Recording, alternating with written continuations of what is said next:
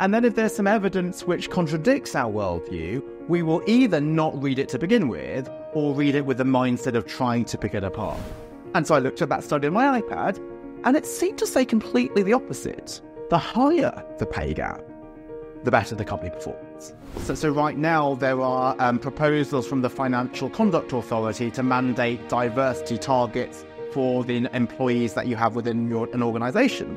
And that's something I, as an ethnic minority, should be delighted with. But actually, if you look at the evidence backing for it, it is pretty weak. Welcome to the Institute of Economic Affairs. My name's Tom Clougherty. I'm the Executive Director here, and for the next, well, 30 minutes perhaps, I'm going to be talking to our star guest this evening, Alex Edmans. Uh, Alex is a Professor of Finance at the London Business School. He's the Managing Editor of the Review of Finance. Uh, he's somewhat famous for his TED Talk, What to Trust in a Post Truth World. Um, he's the author of a couple of books. One uh, he discussed here, or online, but through the IEA with my predecessor during the pandemic. That was Grow the Pie How Great Companies Deliver Purpose and Profit. Uh, but tonight we're talking about his latest book, which is, as you've probably noticed, available at the back of the room May Contain Lies How Stories, Statistics, and Studies Exploit Our Biases and What We Can Do About It. Uh, one quick note for the audience before we start this event is obviously being filmed. And if you need any assistance, you can head back out into the lobby and one of my colleagues will be able to direct you. Uh, with that out of the way, Alex, thank you for joining us. Well, thanks so much for the invitation. It's, it's really great to be here. Um, it's a really, really interesting book, I've got to say. Um, and when I first saw the title and thought we were going to be discussing it, I thought, well, this, this might be a bit of a slog. But actually, um, it's a very easy read. Um, and I think you, you know you illustrate your points throughout with fascinating stories that really just draw the reader in. Um, and so, I mean, congratulations on that. I mean, I think you've taken uh, what's potentially quite a difficult topic and really brought it to life. Um, and so I hope we can dig into that a bit over the next um, few minutes. But the first part of your book, and really your starting point, um, is that we have certain cognitive biases um, which make us inclined to lead to conclusions or to misunderstand the world around us. So you talk about confirmation bias, you talk about black and white thinking as the two sort of core things that are likely to lead us astray. I wonder if you can just sort of explain those problems for us in very basic terms. Yeah, certainly. So, confirmation bias is the idea that we have a worldview and if we see research which accords with that worldview, we will lap it up uncritically. So we won't scrutinize the methodology, we'll believe the conclusion, we'll tweet it or exit from the rooftops and share it without even reading whether the methodology was, was correct. And then if there's some evidence which contradicts our worldview, we will either not read it to begin with or read it with the mindset of trying to pick it apart. And so that applies to many things about which there are strong existing views. This could be gun control, abortion, capitalism, immigration, and so on. But you might think, well, aren't there many topics where we are pretty neutral? We don't have a pre existing view.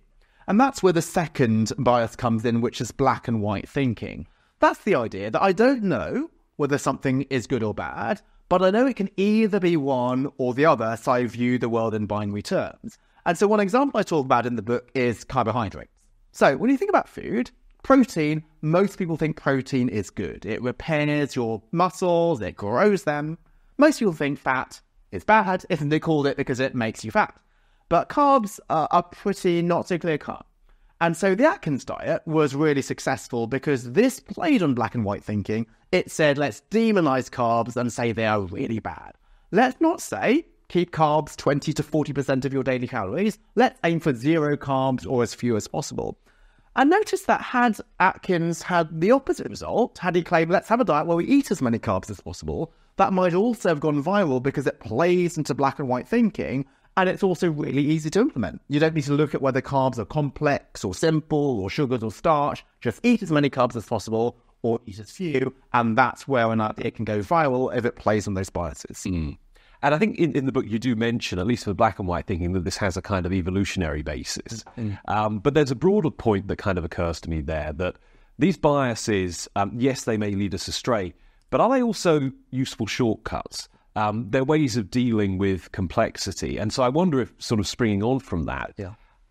is the role that these biases play in public debate and everything else, um, as we move into an increasingly information rich world, are they getting more prominent? Are they getting more dangerous? Mm-hmm. Um, but are they nonetheless useful in some way? Yeah, so I think biases, just like anything, will be useful up to a point, particularly if we recognise its limitations. So, so right now, like there's so many different news sources that we, we, we want we could read. And if my view of the world is capitalism is a good thing, which I believe, I might think, well, anybody who agrees with my view, that is a good source of information. So I might be more willing to read, say, the Telegraph than the, the Guardian. And is that bias, or is that the fact that I I believe, based on my study of economics, that actually free market policies tend to be good? That's why I gravitate more towards that. But if it was the only thing that I read and I was blinded to counter arguments, then I think my knowledge of the world would, would be would be poorer. Mm. So I'm not saying that we need to read all different sources evenly, but it might be that we want to have a halfway house. Maybe I might predominantly read the Telegraph or the Economist, but also see what some of the critiques are. And that's also the case for, for black and white thinking. So you mentioned it has an evolutionary um, beginning, which it does. So when you had to make decisions at scale, when there are fight or flight responses, you need to have simple rules. So maybe if you're a hunter gatherer, this might be run from carnivores, and though that might be somebody with uh, an animal with eyes in the front of the head and sharp teeth. Sometimes that could lead to incorrect decisions because you could run from a dog and you could have used that dog to help with the hunt or domesticate it. Nowadays, we don't have speed so much of the essence. Situations are not life and death, but we could make decisions at scale. So let's say you're the manager of a mutual fund, you could choose thousands and thousands of stocks. Some of them might have black and white rule, rules like avoid all fossil fuel stocks. This is just something where there's climate risk and I'm worried about that. In reality, some fossil fuel stocks are good investment opportunities. They might have been overly discounted, they might be moving towards renewable energy, but that black and white rule helps them make decisions, even though sometimes it can lead to the, wrong conclusion. Mm. I'm conscious that my next question is somewhat akin to can you tell us what your book says? Mm. Um, but basically, you, you structure the bulk of the book, part two, around this ladder of misinference, mm. Um, and which goes from sort of statement to fact to data to evidence to proof. Um, and I, I think it would be really helpful, actually, if you could talk us through that in obviously not in the, the hundreds of pages of detail you do in the book, but that basic way of framing the argument and thinking through the problem. Um, it, yeah. Absolutely. So the book is about misinformation and how to combat it. And I have to acknowledge there's lots of other great books on misinformation out there, which I've learned from. But sometimes those books can be hard to remember and put into practice because they tend to be laundry lists of all the different ways in which we can be misinformed. And if I need to be on my guard against 50 different things, then I might not put it into practice. So I wanted to structure the different types of misinformation into four steps and those are four steps on what I call the ladder of misinference, which is how we can misinterpret data. So the first step is the difference between statements and fact. So I say a statement is not fact because it may not be accurate. And so what's an example of that? So let's say a very famous phrase is the idea that Jack Welch, the former CEO of GE, said shareholder capitalism is the dumbest idea of the in the world. And, and this was catnip to anti-capitalists because they said, look, this, this guy who's one of the big leading lights of capitalism now is turning his back on it. Now, notice that was absolutely accurate. He did say that. But one of the punchlines of the book is even if something is 100% accurate, it can be misleading. And what was misleading here is that they chopped off the start and the end of the statement. He said, on the face of it, shareholder capitalism is the dumbest idea in the world, it is a result, not a strategy. And so that's got a quite different meaning, actually, to measure a company by how much shareholder value it's created. That is a good thing, that is the result. But is the strategy I'm going to try to create shareholder value? No, it might be I'm going to grow my sales, it might be I'm going to expand geographically. And so that's all he meant. So it's quite different. So number one is just check the statement, check the actual context. The second misstep is a fact is not data because it may not be representative. So let's give another example. So Simon Sinek's got this book, Start With Why, and a TED Talk viewed way more millions of times than my own. And so he claims Apple was successful because it started with why. So Apple's been extremely successful, the first company to will be worth a trillion. And let's say Apple did start with why. How do we know that starting with why leads to success? That is one hand picked example. there could be millions of other examples of companies that started with Y and failed, and yet we never see these examples because Simon Sinek will never give anything which contradicts its viewpoint. So again, one thing is completely true, misleading because it's not representative. Step three is the difference between data and evidence. So you might think, well, isn't the solution to gather hundreds of hundreds of data points? But step three highlights that data is not evidence because it may not be conclusive. So let me explain that. First, what is data and what is evidence? Data is a collection of lots of facts. So let's say sustainable companies tend to be more profitable. That is true in large scale data looking at hundreds of companies. But what is evidence? Well, where do we hear the word evidence a lot? Criminal trials. And in a criminal trial, evidence is evidence that convicts one suspect but is inconsistent with other suspects. If the evidence is consistent with lots of suspects, it is not evidence. And so this is the difference between correlation and, and causation. So if sustainable companies perform better, one suspect is sustainability leads to better performance, but an alternative suspect is performance allows the company to be more sustainable. A third suspect is maybe the industry both leads to sustainability and performance. And yet we all know that correlation is not causation, but if confirmation bias is strong, we just latch onto the one suspect that we, we um, care about. And the final one is evidence is not proof.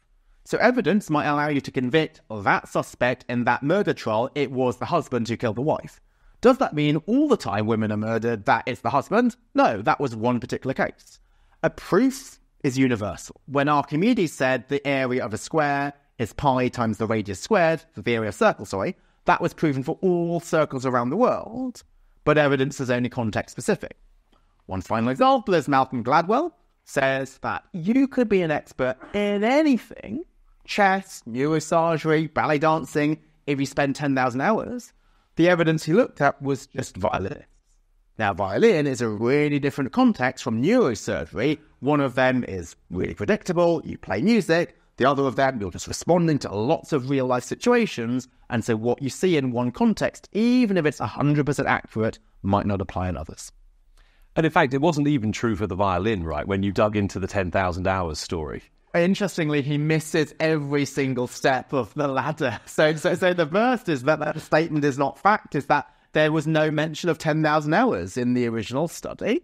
It was only a study based on 10 successful violinists. And also, is it correlation or causation? So, what he asked the violinist was, How many hours did you practice 15 years ago? So, you might think practicing 15 years ago leads you to being successful right now. Or if you're a great violinist right now, you will think, well, I must have practiced really hard to get this far. If you weren't a good violinist, your cognitive dissonance will mean that you won't admit that you practiced a lot because that would admit that your time was wasted. Just like we had the London Marathon on, on, on Sunday, and if somebody didn't hit their time, they will say, oh, I just didn't really train for it. And if they did hit it, they'll say, yeah, I trained really hard. That's why I hit my time was because I put the effort in and I made sacrifices. Mm. So that's that's why he, he missed that ladder step as well. Um, so I, funny enough, I was going to ask you. Um, the book, as I said, is full of great stories that illustrate your points, or at least illustrates the failings that you're trying to highlight. Um, you've mentioned a few of those stories already, but is there a particular favourite story you have in the book? Maybe something you unearthed while doing the research. Um, that it doesn't have to illustrate the whole thesis, of course, but is there one thing that just really blew your mind when you came across it and you put in the book? Yeah, I think it's. I'll, I'll probably go with the opening story, which is right yeah. in the introduction. So I, am a professor of finance as my day job, um, and I uh, wrote some evidence for the Select Committee hearing on corporate governance, which the UK government um, commissioned a few years ago. And I was invited to testify in this inquiry. Uh, I was nervous, so I got in early so that I can swat up on any question that they might ask. So I sat in the session before me. And then the witness said some research which sounded noteworthy. They claimed the lower the gap between CEO pay and average worker pay, the better the company performance. And so some of my work is on responsible, sustainable business. So I thought, okay, that, that accords with some of my research. So I thought, well, let me not take it for face value. Let me try and look it up. And so I looked up the witness's statement. They referenced a study. And so I looked at that study on my iPad, and it seemed to say completely the opposite. The higher the pay gap, the better the company performance. I thought, yeah, I know I'm nervous, but I can't be so nervous that I'm misreading the study. So, yeah, it was there, clear as day.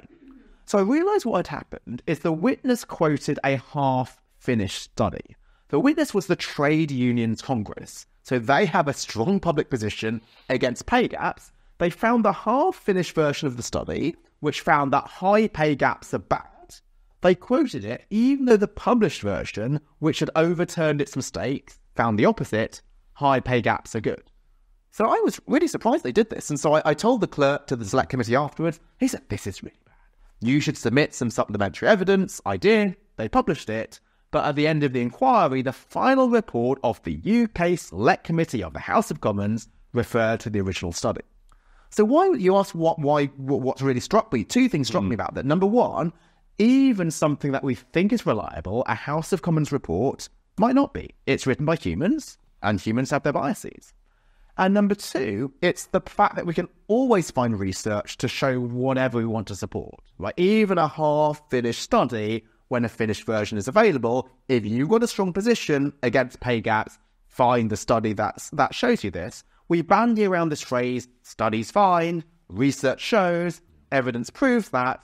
This is meaningless because you can almost always find a study to give you the result that you want. Yeah. I, the other thing in that introduction anecdote that uh, struck me was that um, you, you, were you were quite shocked when they asked you the MPs asked you a question and you just said, "Yeah, I don't know." And mm. they couldn't believe that someone would just admit, "No, I don't know that." Let's move on to the next thing. But that is actually one of the problems in in the public policy debate um, that there is such a sort of strong uh, emphasis on pretending you know everything and being able to respond immediately. Um, that it really, I think this is one of the reasons why debate is often so poor. Um, but anyway, I, the big implication of your book um, is that we need to get a lot better at critical thinking. Um, but I suppose I can see people responding to this in, in different ways, perhaps from the one that you intend. And, and, and one is negative, one is maybe positive. Um, so, the negative version, I can see people reading your book and thinking, well, nothing is reliable. It would take an enormous amount of work to decide whether I can trust anything. So either they'll become extremely cynical or very subjective about everything, or they might just become kind of nihilistic mm. and say, you know, nothing is meaningful. So whatever. I suppose the alternative, which I like, but maybe I'm displaying my own cognitive biases when I say this, um, is that people could read your book and say, you know, what we need is a lot more modesty about our own understanding of things mm. and what we can prove. Um, and then maybe that should encourage people to be a lot more reticent about intervening or about thinking they can design improvements to, to what ex- already exists. So you can sort of make a Hayekian pretense of knowledge case here as well. Um, but I mean, how, how do you respond to that? Um, do you think that either of those responses are likely? Um, or do you think it's realistic, actually, that we can all just become much better at critical thinking, given the enormous amount of complex information that surrounds us? Yeah, it's, it's a great question because people might think, okay, if I look at the title of the book, it's about statistics and studies. I don't have a PhD in statistics. Is it realistic to get me to scrutinize every paper and ask, is correlation the same as causation? So this is why I really appreciate your comments on the writing of the book, Tom. I don't have a single equation in there. I try to make it readable and accessible for a general audience, and this highlights that often the solution to these things is just common sense. But we don't need statistical firepower but common sense and discernment. And that already most people have within themselves. So if I post a study on LinkedIn, which people don't like the sound of, there's no shortage of counter arguments as to why it might be flimsy, why it might be handpicked data or one example or not generalizable. But then suddenly their critical thinking faculties are switched off when they find something they do like, and so, all I'm trying to encourage you is to harness the discernment that you already have within yourself and you already deploy selectively. And let's now try to deploy this more consistently. So, one simple tip I have in the book is if there's a study which gives you the findings that you like, imagine it gave you the opposite results and think how you would try to knock it down. So let's have an example. So I'm looking forward to hopefully having some red wine after this. I, I thought not before, but afterwards. And, and let's say I want to drink loads of red wine afterwards. I could look up and find a study showing that people who drink more red wine live longer. Great. That is my excuse. But before I reach for the Bordeaux or for the Claret, let me just turn this the other way around. Let's assume I found a study find that drinking more red wine leads to a shorter life. How do I knock that down? I might say, well, maybe the people who drink red wine are poorer people. They can't afford champagne or top level spirits. And that's that poverty, which means they can't afford health insurance or other things. And that poverty is what leads to the shorter life. But now that I've alerted myself to the possibility of this alternative suspect, which is income, does that explain the result, even though it's the direction that I do like? Maybe red wine is correlated with longer life because people who can afford red wine are wealthier than people who are affording beer or alcopops. And so, this idea of imagining the opposite and seeing how you would knock it down, that will hopefully harness the critical thinking you already have. I think we may just have a small microphone problem. This one here? Absolutely, sure. Yep. no, good. Well, I hope you've all heard everything so far. That's probably just for the recording purposes, I think.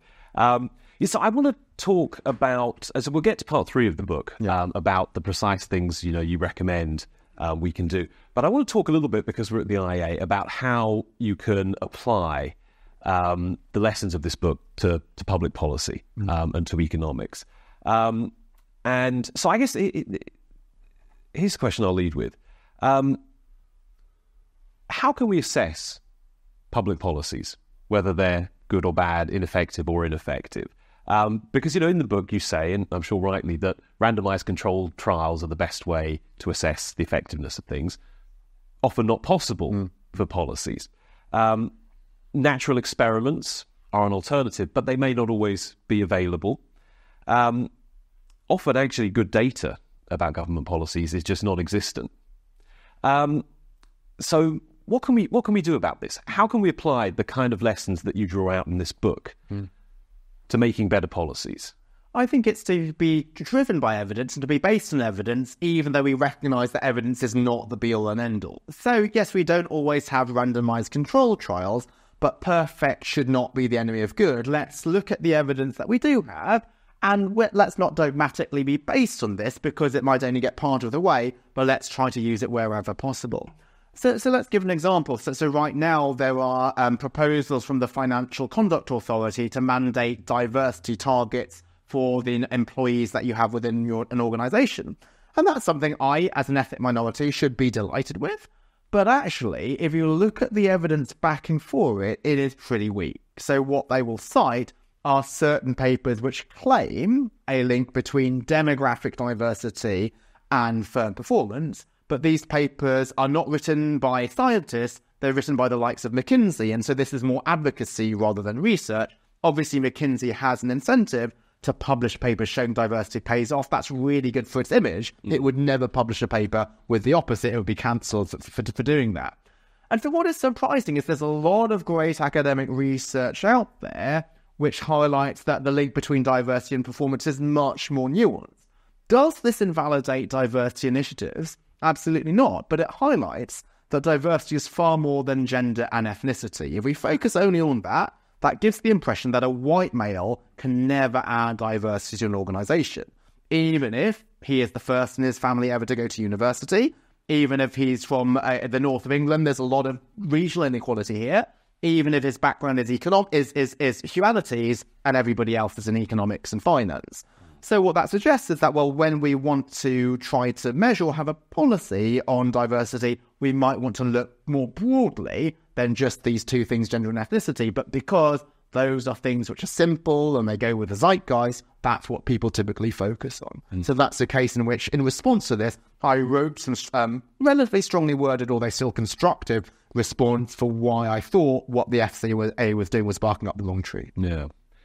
Here's a question that possibly I should ask you in private, but I'll ask it now anyway, and I hope I don't regret it. Um, through the framing of this book, how do you think that the free market movement or the classical liberal movement is doing in terms of making its arguments? Are there particular areas where you think we're falling down?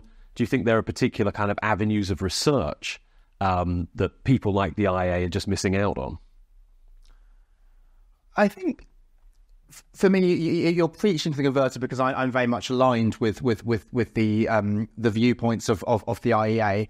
Um, so for me to see the flaws in it, it it's it's tricky because I, I, see the logic behind it. Right. So it might be other people who are, are less aligned to it might might um, might might be better at pitching in. But maybe that that is my answer then is actually mm. to try to, to, to, to test to, to, to road test sort of the arguments that are used and see whether they fall on, on deaf ear. So if it is that high CEO pay is actually good for financial performance of a company, maybe people are saying, well, maybe there's gold other than financial performance, and maybe you, you're not considering considering that. So mm. it might be that people have different objectives. So sometimes when you say a policy works or does not work, you might be talking at cross purposes because people have different objectives to begin with. So it's one thing to have disagreement on the same objective, and that's where better evidence can help you. But if we have different goals to begin with, uh, then maybe that's when some of the policies, the ideas might might not actually cut cut through for me. Mm, mm. And so another slightly think tank centering question here, but. Uh, you know, I, I, one of the good things about the book, I think, is for me at least, it made me reflect a little bit on the challenges we face in our own work. Um, and uh, you know, I think there's there's a trade off around communications, mm. and obviously, as a as an author, um, and, and, as a public speaker and so on, you must sometimes sense this as well mm. that um, if you make something very balanced, very factual, um, if you kind of sort of strip the narrative out of it, if you try not to just appeal to people's cognitive biases, you may not get an awful lot of attention. Uh, and so that really sort of diminishes the power of the good idea. On the other hand, there's always the danger that the, the narrative um, and the selling kind of takes over. I'm sure at some point, if it hasn't happened already, our comms team will get sick of me telling them, "Can we make this a little bit more boring, please?" but you know, it, we we we work in an environment where um, sort of the loud press release, mm. um, or the snazzy headline, or the the killer figure takes you an awfully long way, um, and we try hard not to be misled by that. Yeah. Um, but how do you, as, as a as a finance professor, as an academic, as someone who sort of prizes the independence of research, how do you make sure um, that you make everything as robust as you can?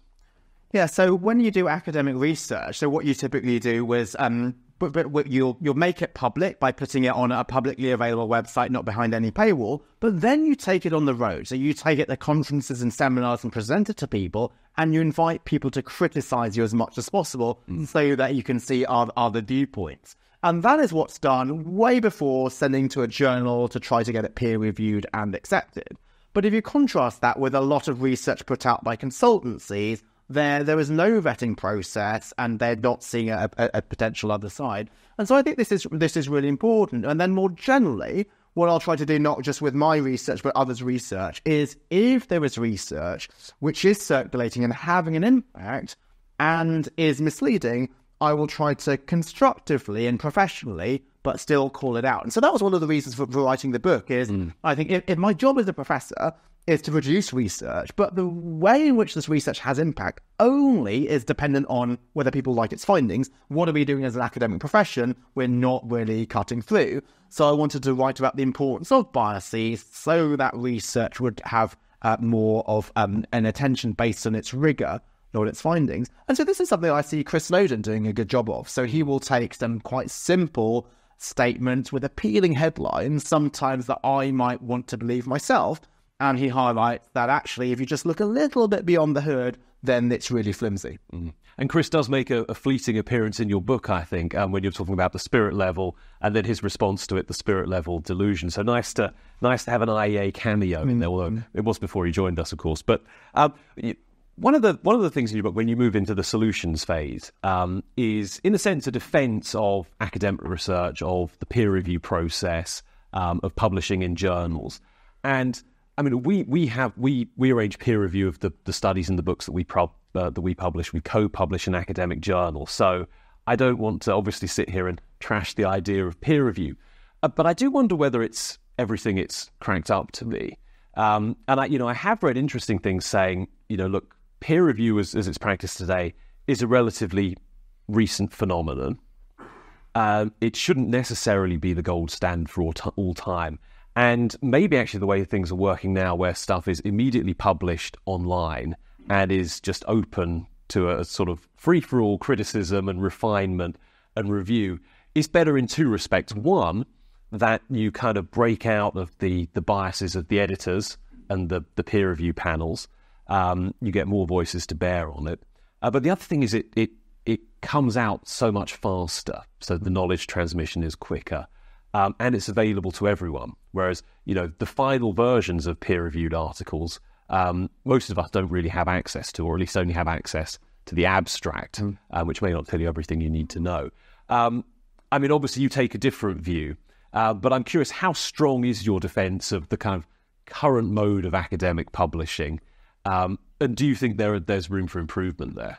Yeah, so uh, a bit of both. So I certainly think it's valuable, but there's a lot of room for improvement. So, so peer review it is good. It's not perfect, but perfect should not be the enemy of good. So, how does peer review work at the moment?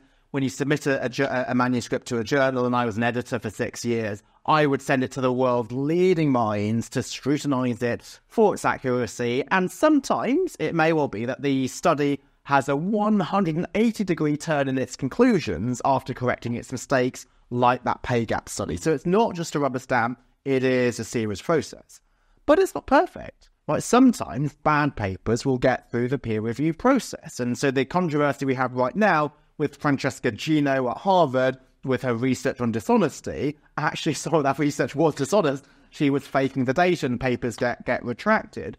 But I still think it, it adds something is that even though it's not a 100% seal of approval, it's a bit like a kite mark just like we can sleep a little bit more safely at night if our locks bear the British Standards Institute kind hmm. mark for, for lock security. Are there better potential methods? Probably, almost certainly, th- th- there will be. Um, but they will still be within the context of the idea of reviewing. So, right now, the problem with peer review is maybe I only select two people who review it, and those two people might have blind spots. Or maybe as an editor, I have a blind spot and I really want to get the paper published because in accordance with my findings, I choose two people who are likely to be positive. So there could be other models where even after a paper is peer reviewed and accepted by a journal, it goes on the journal's website, and then people can comment on, on that by saying, well, hey, here's a concern that we have. Now, you might have uh, an idea, a problem that who is it who commentates on this? Mm. So, are there sort of gatekeepers that you have to be with, within the scientific community, or you get upvoted or downvoted based on the quality? Just like we do have reviews of products and, and, they're not perfect, but I still pay some attention to customer reviews of products. So is that something where we could have as well as the hidden archaic process of, of, peer review where we don't even know who the reviewers are? Mm-hmm. So one other, one other thing I want to mention is this similar theme actually, and there's something quite counterintuitive fairly early on in the book, um, where you mention effectively, I'm paraphrasing, but the, the more knowledgeable people are, often the more biased they get. Yeah. Um, I suppose because they, they see more things to confirm their biases. um, and then they become more black and white in their thinking. But do you see that problem creeping into academic research as well? Or is the whole point of being an academic level researcher that you can get a step beyond that kind of knowledge problem? So I certainly see the the problem in general. So the idea is that if you're more knowledgeable, then you can poke holes in arguments that you don't like, and so this makes the problem of confirmation bias worse. Even if something is, is truly valid, you will just find some way, some clever argument to, to, to find a flaw in that. And I think that, that this could be the, the case in, in academia. So there are certain people with strong views, and they will reject any paper which contradicts it, even if it's perfect, because of their ability to, to find some holes. So, as an editor, I sort of know who, who these people are, particularly in my field, and I'll try to avoid them. But there is the possibility that some editors are biased, and maybe I, I might have been biased in certain decisions, and then you deliberately go to somebody yeah. who is going to be using motivated reasoning. So, this is why I think just to um, have a paper success or failure boil down only to who the editor happens to choose is a bit too binary, a bit too black and white, maybe mm. to use one of our earlier phrases. And so this more general crowdsourcing approach may well be better. Do you think that artificial intelligence can play a role in, in helping us deal with the problems you identify in the book? Um, now, so on the one hand, if you had some sort of truly neutral and almost all knowing artificial intelligence and you could ask it, mm. you know, can you summarize the research for me on topic X, Y, or Z? Um, that would be a great tool. But on the other hand, I mean, I've already seen research suggesting that most of the large language models have a very clear uh, left of center bias. Mm-hmm. Um, and that's largely they're replicating the biases of the people who've tested them yeah. um, before they're made available to the public. But I mean, do you do you see artificial intelligence as helpful to the things you're talking about in this book, or potentially there's big downsides there too? I think with any new, new tool, that there's there's both potential and there's also potential for misuse if you don't understand its its limitations. So on the one hand, well, what is powerful about it is it can go there and do the research and not be not be swayed by one particular study. So there is a study in the Lancet that vaccination causes autism, but the scientific consensus is that's not the case. And so what um, AI could do is look across all of those studies and find what the consensus is. But the concern is, is sometimes, well, they might put weight on the number of studies, not the quality of studies. So if indeed there's loads of papers out there claiming that demographic diversity leads to better performance. And if those studies are really well circulated across the internet, then depending on how they do their search, they might find all of those studies and they might put more weight on them than more um, scientifically accurate ones. So I think what would what, would what would this mean for the use of those models is those models will capture the consensus by quantity, but not necessarily by quality. That could still be useful, but I wouldn't rely exclusively on that. I think there will still be room for human judgment, even in a, in a post AI world. All right. Possibly last question for me, although keep one or two up my sleeve just in case. Um, if I asked you to boil down your recommendations into three one for individuals, one for organizations or companies, and one for society as a whole for how they can understand the world better um, and avoid making the mistakes you highlight in the book, what would those three recommendations be? For individuals, it would be question everything. So show discernment, not just to stuff that we don't like, but show discernment even if there's a, a finding that we do like. Number two, for organizations, it would be encourage dissent. So in organizations, and I was at Morgan Stanley at the start of my career, you have this senior boss and you never challenge them, you just do what they say. But why you have problems like Silicon Valley Bank and the financial crisis is people were unwilling to challenge. There was Alfred Sloan when he ran GM. He ended the meeting by saying, uh, Does anybody disagree with this idea? Nobody did. He said, Well, let's postpone the decision until the next meeting so that you had a chance to disagree. Mm. So he thought, Yes, I'm the leader, but not everything I say will be perfect. And if nobody disagrees, it's not because I'm right, it's because I'm not given real time. And the third for societies is to teach critical thinking in, in, in schools. So we teach about like literacy and we teach now IT literacy. What about statistical literacy? And that's something which, again, doesn't require a PhD or even an A level in statistics. The idea that correlation is not causation is the idea that there's multiple suspects. So kids learn really early on when they read a murder mystery. There's multiple suspects. Often the obvious person didn't commit the crime, mm. and so they learn to think outside the box.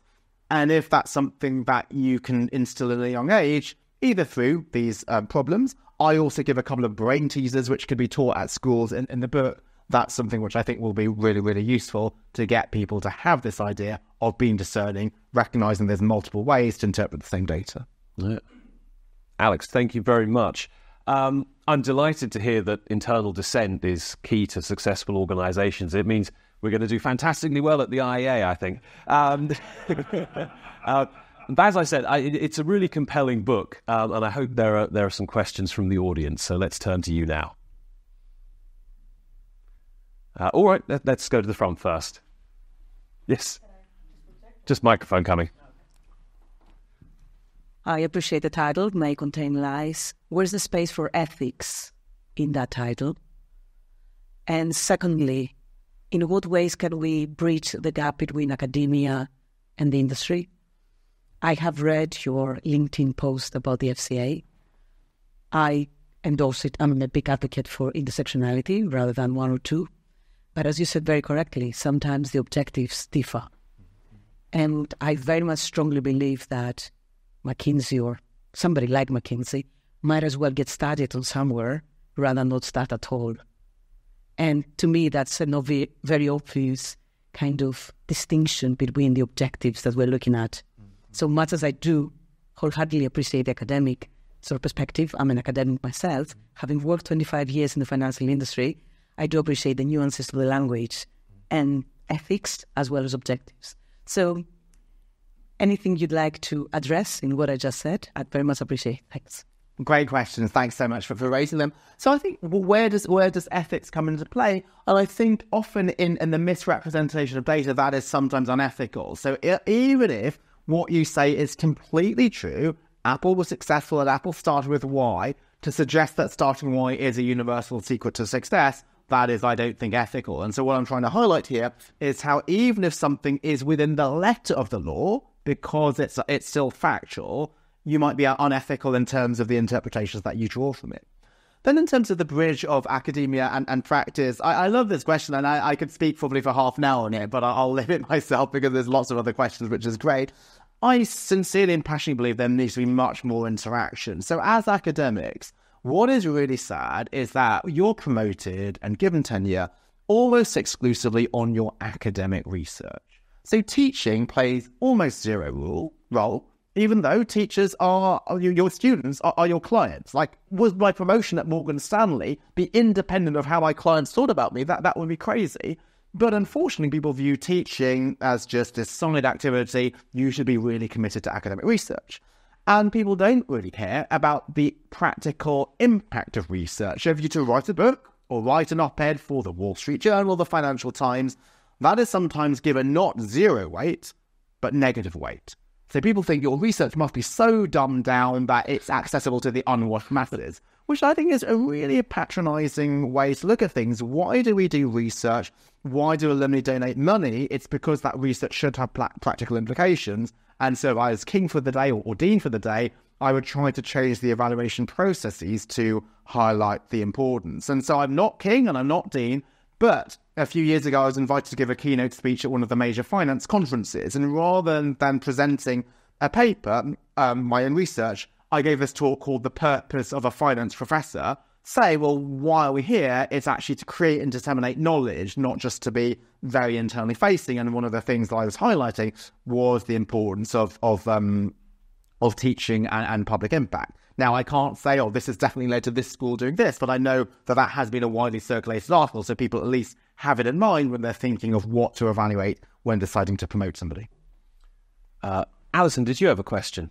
Yes, I did. Yes, please. Um, thank you very, thank you very much. Um, Alex, I loved your previous book, and uh, I love some of your quotes, particularly the one about what is a fact um, which needs to be uh, true in all time, on all occasions, and probably in every weather. And I also love the one about fairness, uh, which uh, fairness and equality. So uh, giving every giving everybody the same exam grade is equal, but it's not fair. And I think anybody that's been through an exam can um, associate themselves with that. I wanted to ask you uh, your view on the recent Cass report, not not perhaps the content of, it, but how it's been received by people. Um, so, uh, Cass, if you're not familiar with it, is uh, the review on uh, the treatment of children in uh, in GIDS, the gender identity uh, service um, based at the Tavistock Clinic. And um, uh, Dr. Cass found that there was no uh, the research hadn't been done. There was no clinical evidence for uh, the treatments that were being prescribed. And um, she got a lot of pushback. And looking now at the the um, what's happening with the reviews of it from outside, there is definitely a pushback from people and their confirmation bias to say that there are, you know, gender is not black and white and some say gender is black and white. Um, uh, so I'd just like to know if you've got an opinion on that and how it has been received. Thank you for, for your kind words in my prior work, and thank you for, for this question. So, this is something why I haven't read the report in detail, just because I, have been tied up in the run up to, to the book launch. But I have seen some of the media, some of the media coverage of it, and the concern that you're portraying is one which I think is a very real one that you can be cancelled if you are presenting a particular viewpoint, that people's confirmation bias is so strong that if you present a particular result, they think you might be biased or have some ideology about it. The confirmation bias um, is so strong that people react to something they don't like, a bit like they are given a tiger attack. So there's actually some neurological studies that it triggers your amygdala to see a report like that and the amygdala is the same part of the brain that, that leads to a fight or flight response. So while I don't know the ins and outs of that study, in the field of diversity where I do work, um, the fact that I'm an ethnic minority does allow me to express some concerns about the McKinsey diversity studies that I would not be able to express if I were a white man. And I think this is crazy because the quality of what I say, so whether people should believe what I say depends on just the arguments that I make, not the color of my skin. But because the biases are so strong there, that gives me the license to say things that other people might not be able to say for being cancelled. And I see the, the, the concerns with the, the, the debate on gender identity is even more politically charged than the one on diversity. If you say something on social media, if you say all Asians are nerdy on social media, you won't get cancelled. You might be seen as a bit rude, but if you were to say you are not allowed to change your sex or, or, or women are women, then you will be absolutely cancelled. So even though I've seen in, in my field some there is already uh, some difficulty in, in, in, expressing a viewpoint, I think that that is probably ten times higher in, in the field that you're asking about. Uh, Tom, and then yep, seen three three more. Just have a show of hands all round, actually, quickly. One, two, three, four, five. Okay, yeah, let's go on first. Hi, Alex. Uh, great talk. Uh, was at London Business School from uh, the Exec MBA. And thank you very much for making sure your book's on audio. Uh, obviously, greatly appreciated by some of us. Um, I want to talk a little bit about, in the political context, about how we rebut, how you talk about a fact or uh, opinion that's perhaps incorrect. Should we restate it as such? Should we uh, ignore it and talk about the other things? Let's, let's take a, something on the of a bus, for example. Um, it's hard to talk about a, a, a the opposition standpoint without mentioning it, it, and repeating it. We're often taught that we want to do a rebuttal uh, without using uh, the the numbers they're using or, or, talking about. What's what's the best way of uh, rebutting those uh, things that may be misinterpreted, and how do we de-escalate that belief system and de-escalate that ideological standpoint that they want it to be true? Thank you. So I hadn't heard of the idea that uh, you, you, don't repeat what people say, but I can see why people suggest that because if you repeat it, then that, that will spread that number. Um, but for me, I, I think that it would spread anyway. I would want to tackle the head on the claim. So when I take on some of these McKinsey type studies, I will try to say what they said, repeat what they said, and, and say why it's inaccurate. So I try to tackle it head on. And then, in order to try to make sure that that cuts through, I might still say that the general premise of what they're trying to do is, is, is, benign, just to show that it's I'm not ideologically opposed. So uh, again, when I go back to diversity, I'll say this does not invalidate diversity initiatives. It means that we should just consider more than a person's gender and ethnicity. The idea that cognitive diversity is the same as demographic diversity, suggests that there is a female way of, way of thinking, there's an Asian way of thinking, there's a black way of thinking, and that's actually racist and, and sexist. We want to look beyond just the, these, these simple labels. So this suggests that I am not ideologically opposed to it. Otherwise, people will think, well, am I just trying to rebut it because of my own entrenched views? No, maybe I actually have a similar goal as the people I'm trying to rebut but the method of trying to get there is one which is going to be more nuanced and based on evidence rather than trying to interpret everything as supporting my viewpoint. Brilliant. Thank you. Thank you very much. Uh, uh, really interested by your book and uh, uh really looking forward to reading it. And thank you for your talk. Um, you talked right at the end. You said that uh, that society could teach more critical thinking in schools. And as someone who comes from from education, I can tell you that um, unfortunately you're you're right up against it there because uh, when people in schools talk about uh, questioning uh, or teaching critical thinking, what they really mean is, uh, you know, not taking Trump at what he's uh, at face value. They will never uh, address the, the, the other side, you know, other side, and taking a, a, a, being more critical towards a left wing uh, bias, for example. Mm-hmm. I think that the, the entire educational system is is designed the exact opposite of critical thinking. Even in the way that exams are are set up, it's all about reproducing what you're supposed to reproduce. I think uh, I, I, mean I completely agree with you. Critical thinking would be an incredibly useful uh, um, tool um, and an incredibly useful thing for people to learn. But I I don't know how you approach that. So I, I'm perhaps uh, uh, skewed by my own biases here, so uh, and, and, that's why I might have too rosy views. So I went to Montessori um, primary school, and so that was a different method of education, which encouraged you to ask questions and encouraged you not just to learn by algorithm.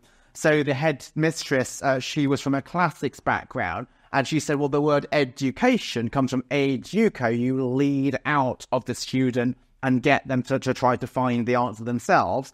Rather than intrusion, which is how we often teach, which is intrudo, I thrust in. So I will tell you what the answer is and, and, and, and you will just accept that. So I was lucky with that educational system. I think that has been something which has just continued with me, and that might be naturally why I'm drawn um, to topics like that.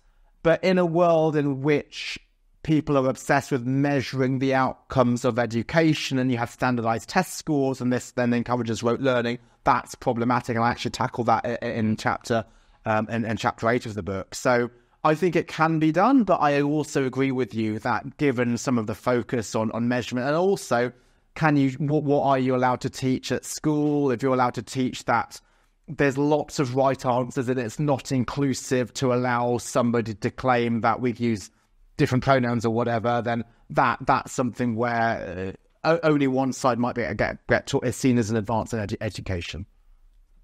Uh, oh, Alexei first, yeah.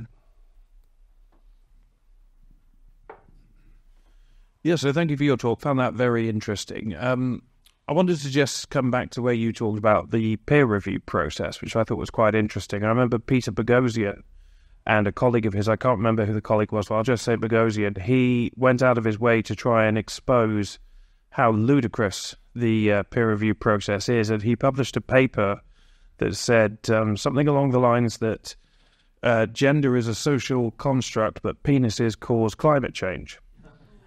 And it made it through the peer process, the peer review process. And when he and his colleague came out and basically said, you know, this was a hoax, we did this to expose how ridiculous academia could be, the response was furious and they tried to cancel him. And this is where he, you know, started his sort of journey along the lines of realizing that academic freedom is not what it is. Mm.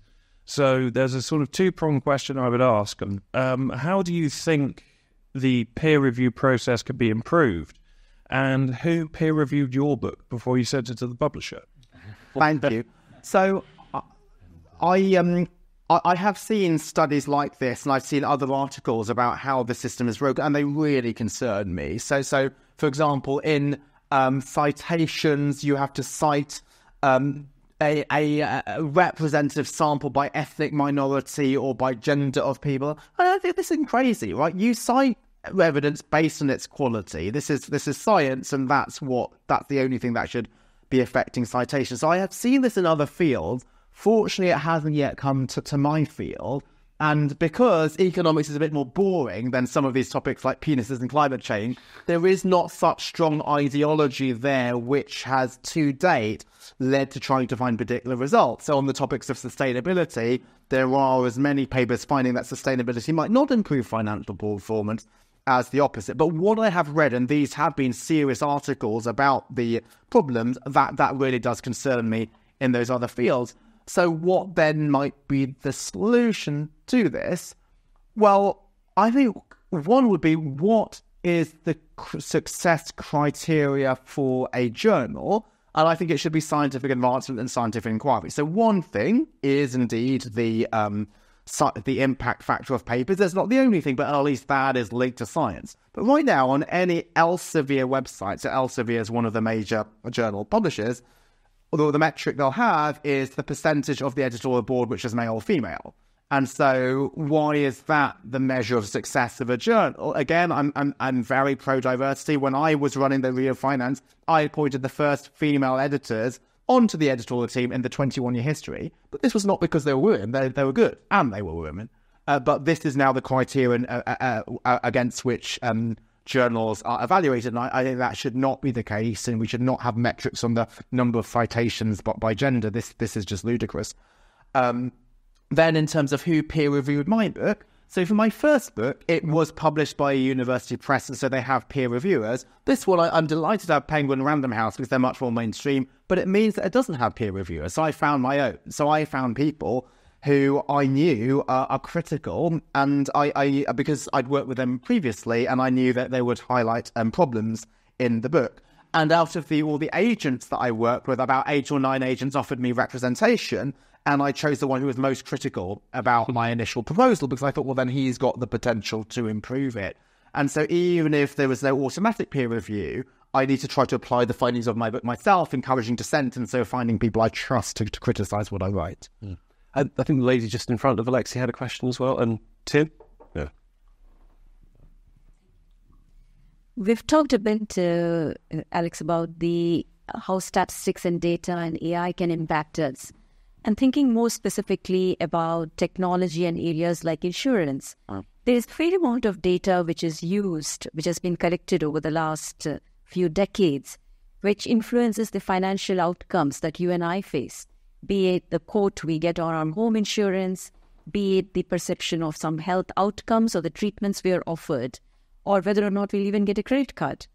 So, in those contexts, given what you've said, how can some of the learnings and the insights you've gained be applied so that we have more fairer outcomes for the general population?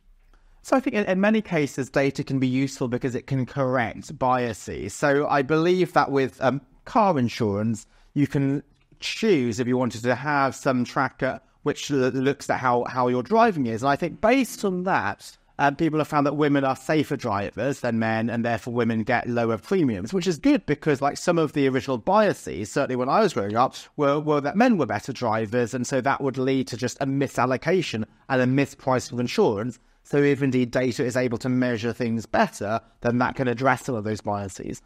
But just like with AI, we also need to understand the limitations of data. So, in, in my field, you are um, evaluated according to your citations. And so that, again, is useful for debiasing.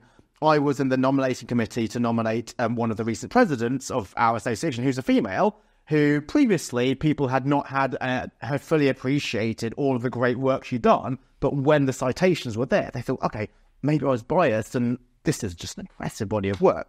But sometimes citations can look at the quantity of citations rather than the quality. It may be that you've got lots and lots of scattergun papers, but none is, is, is truly a home run. Maybe people are citing it, um, even though it's an incremental work, they're citing it in a long list of other papers rather than having it as the central thing that they're building on.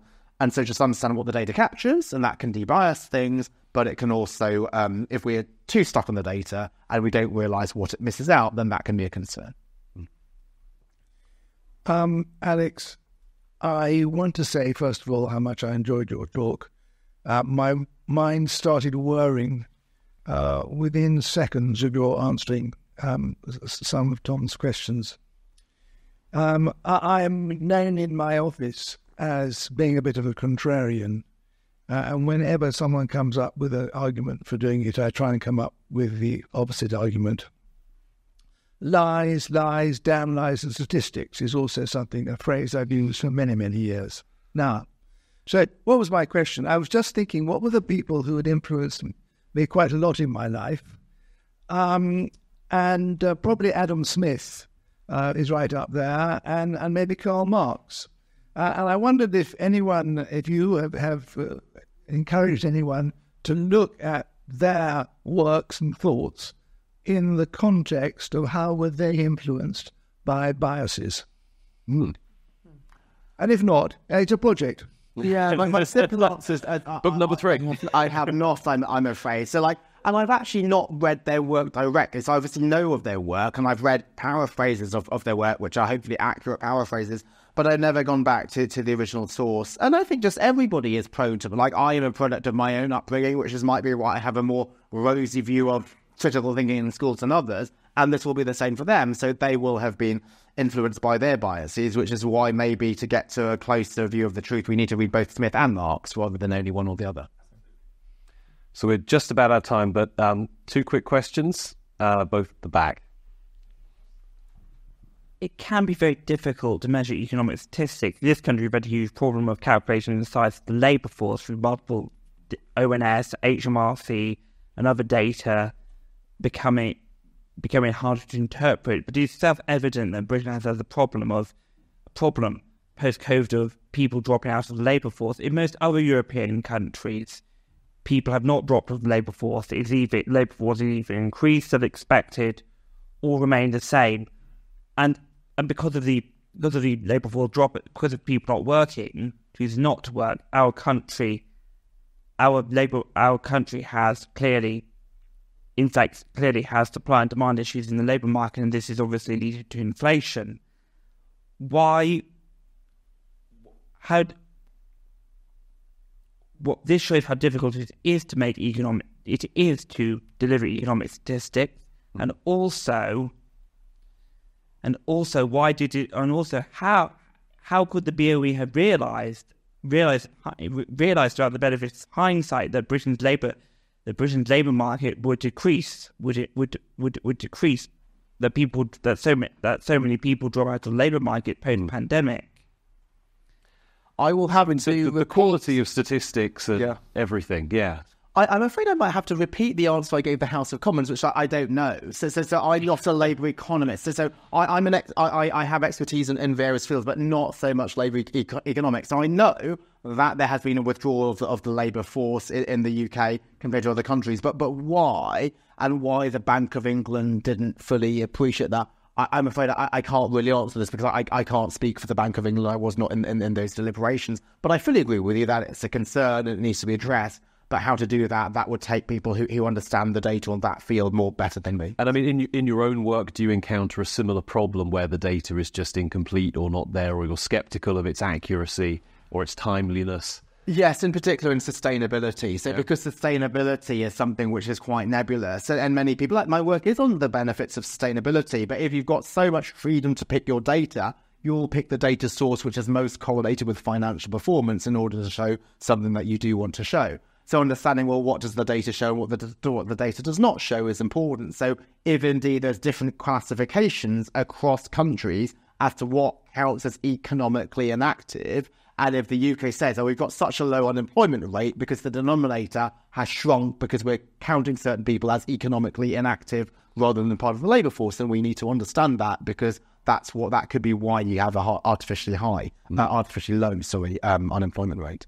All right. Final question. You've held the microphone all evening, so go for it. um, I got a question for you. If data can be deceiving, um, do you think the econometrics as a whole subject is flawed?